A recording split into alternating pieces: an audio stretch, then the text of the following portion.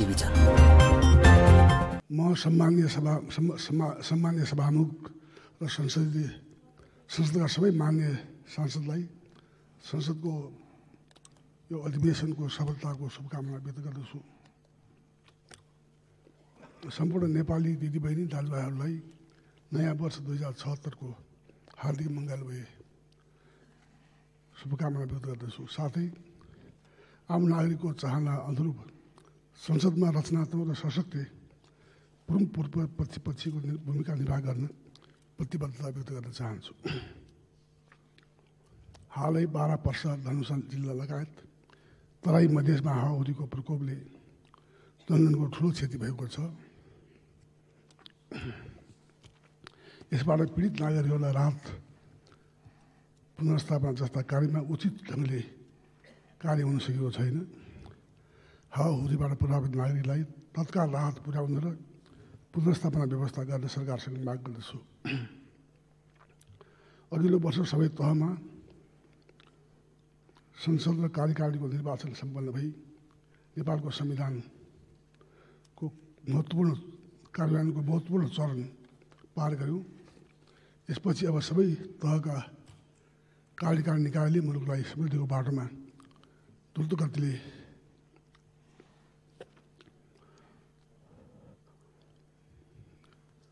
अघि बढाउनेछन् भन्ने आम अपेक्षा जागृत भएको थियो। केन्द्रीय सरकारले विशेषतः सम्मान्य प्रधानमन्त्रीज्यूले समृद्धि यात्रामा मुलुकलाई अघि निर्वाध रूपमा अघि बढाउनु हुनेछ भन्ने आशा थियो। अपेक्षा थियो तर अभूतपूर्व ऐतिहासिक अवसरका बावजुद सरकारले यो समय खेल फालेको छ। अबोध बालिका निर्मला पन्तको बलात्कार र हत्या गर्ने अपराध अपराधीलाई अहिलेसम्म सरकारले फेला पारेको छैन। आम नागरिक बिच यस विषयमा सरकारको नियतप्रति शङ्का उब्जिएको छ।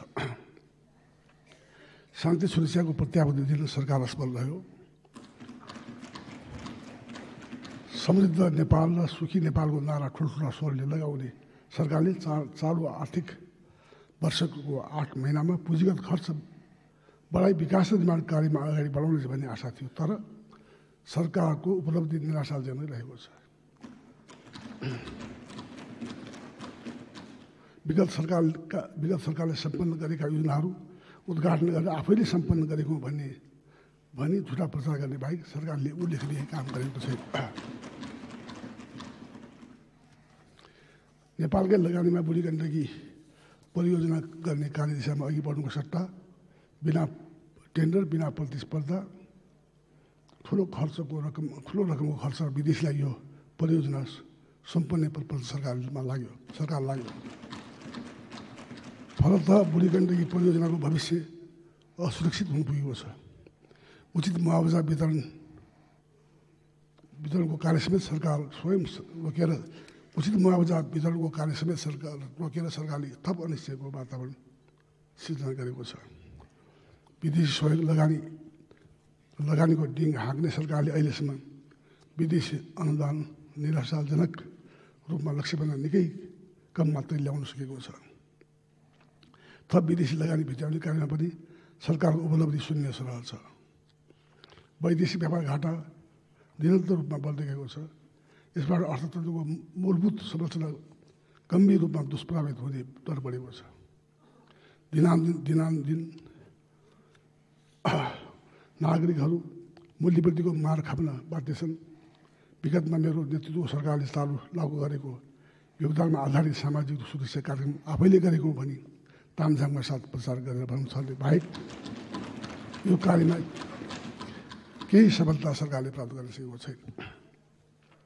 स्पाइनल इन्जरी क्यान्सर मुटु मृगौला सम्बन्धी रोगबाट पीडित आसक्त बिरामीलाई जीविकोत्पादनका लागि मासिक पाँच हजार रुपियाँ भत्ता दिने मेरो नेतृत्वको सरकारले गरेको निर्णय सरकारले खारेज गर्यो। चिकित्सा शिक्षा सुधारका लागि हामीले गरेको प्रयास प्रधानमन्त्री स्वयंको सार्वजनिक प्रतिबद्धता विपरीत चिकित्सा शिक्षा विधेयक जबरजस्ती पास गराउनु सरकारको गैर जिम्मेदारीपूर्ण चरित्रको पराकाष्ठा हो।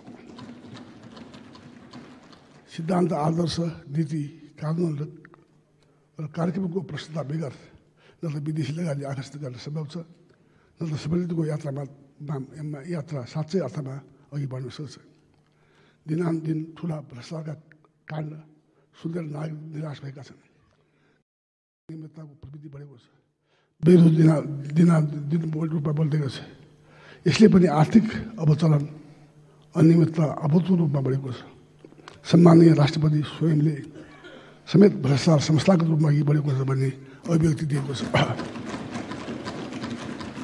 वाइट बडी जहाजमा घोटाला सम्बन्धी कार्यमा अख्तियार दुरुपयोग अनुष्ठान आयोगले आफ्नो अनुष्ठान छिटै पुरा गरी दोषीलाई कानुनको कठघरा पुर्याउनेछ पुर्याउन सकोस् भन्ने यो आम नागरिकको चाहना हो।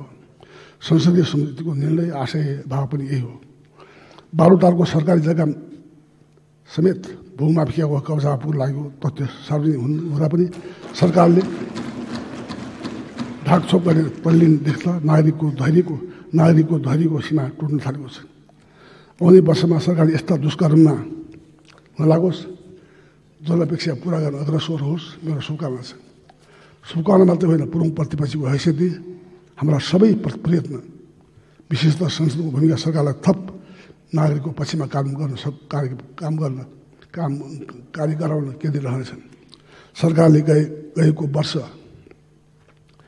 समृद्धिको विकासमा ठुला ठुला नारा लगाउने व्यतीत गर्यो आम नागरिकले गफ र नारामा होइन साँच्चीकै काम र परिणाममा सरकारको उपलब्धि खोजेको छ। प्रमुख प्रतिपक्षीको रूपमा जनपेक्षा पुरा गराउने कार्यमा सरकार अग्रसर रहन हामी सचेत गर्दछौँ। सशक्त दबाब दिँदैछौँ। आम नागरिकको अपेक्षा अनुरूपका राम्रा काममा सरकारलाई हाम्रो सहयोग रहनेछ तर आम नागरिकको लामो बलिदान र सङ्घर्षबाट निर्मित संविधान स्थापित गरेको सङ्घीय लोकतान्त्रिक गणतन्त्र र समावेशिताको समस्यालाई भत्काउने दिशा उद्धव दिशामा उद्धव सरकारका कारणलाई बलियो रूपमा प्रतिवाद गर्नेछौँ। हाम्रो कर्तव्य यही हो। अहिले समग्र गल्ती कमजोरीलाई सुधारेर अघि बढ्न सङ्कल्प गरोस् सरकारले। कुहिर महाराजको कागको कागको नीतिबाट बाहिर निक्लिएर सही मार्गमा अगाडि बढ्न सकोस्। यो वर्षलाई यही ढङ्गले नेतृत्व प्रदान गरोस्। सम्मानले प्रधानमन्त्रीलाई यही शुभकामना छ।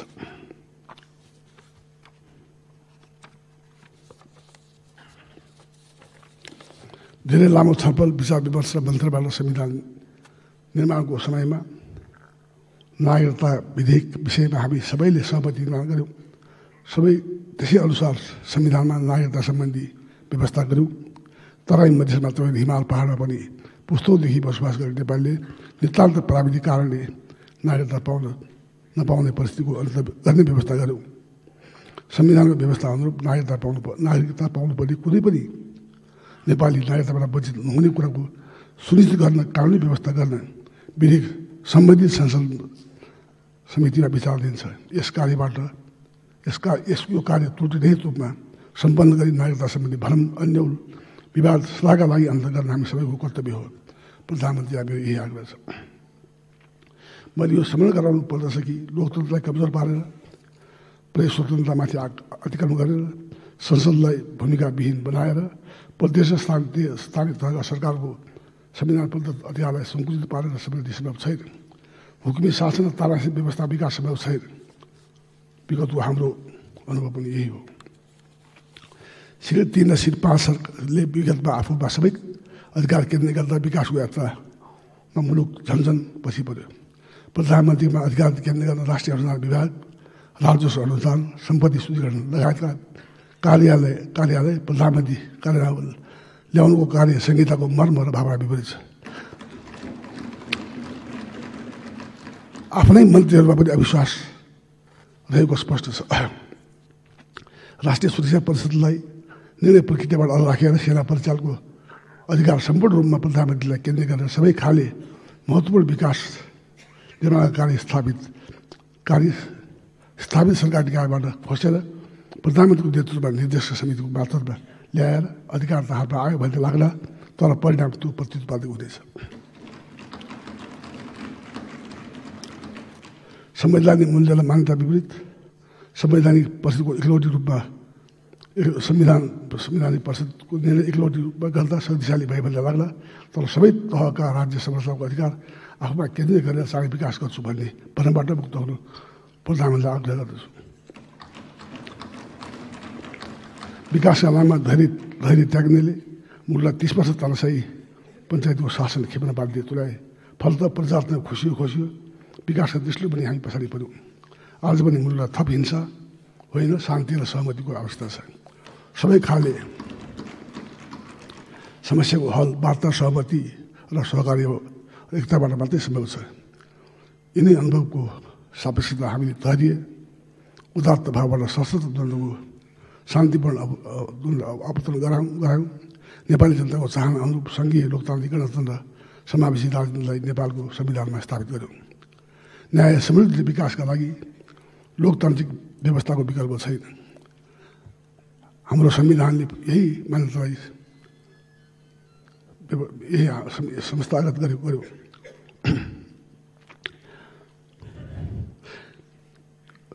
न्याय समृद्धि र विकासका लागि लोकतन्त्र व्यवस्था व्यवस्थाको विकल्प छैन।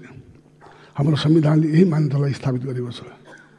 सरकार बनेको चौध महिना पनि देखाउनु लायक जनतालाई आशा जगाउने एउटा पनि सरकारले काम सम्पन्न गरेको छैन। आज मुलुकभरि निराश निराशा व्याप्त छ। यस्तो निराशा हामी सबैका लागि घातक हुन सक्छ। सबैभन्दा गहिरो रूपमा यो कुरालाई प्रधानमन्त्री प्रसाद गर्नुपर्दछ। प्रधानमन्त्री संविधानप्रति तपाईँको प्रतिबद्धता विगतको इतिहासमा देखाएर होइन।